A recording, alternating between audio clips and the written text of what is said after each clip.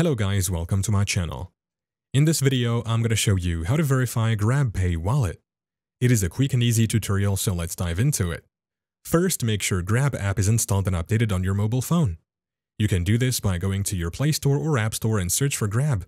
Then click on Update to update the app or Install to install it. Now click on the app to open it and to make sure that you are logged into your account. Once in here, you will see all these options on the home page. Also, once inside, tap on the payment option where you'll find your GrabPay wallet. Tap on Activate your GrabPay wallet to get started. First, enter your full name. Next, set your nationality and then input your date of birth.